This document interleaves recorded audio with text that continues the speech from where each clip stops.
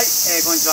ボディコンサルティングコーチの八谷です。えー、松葉杖を使って方向転換する方法をですね、今回はやっていきたいと思います。まずは90度の方向転換からやっていきたいと思います。松葉杖の使い方の特徴は、松葉杖を移動したい方向につけて、えー、そこに体、あなたの体の軸を戻していく、え、そういった使い方になります。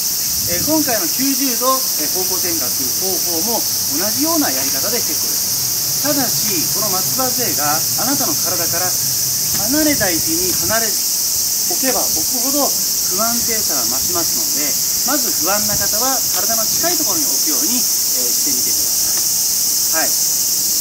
まっすぐ前に出すとそのまま前に移動してしまいますから90度に移動するために右に移動しますね近くに置きます。こちらに移動させます。乗っかります。そんなイメージですね。はい。回転の軸となる松葉杖は近くに置きます。回転を生み出す方の松葉杖を、えー、移動していく方向に置きます。そしたらそこに体重をぐるっと乗せていきます。これで90度の、えー、回転が、えー、完成になります。軸を作る部分と動かす部分。この2つの役割をですね分けてやっていただくと安定して回転することができますのでぜひその辺りも注意しながらやってみてください。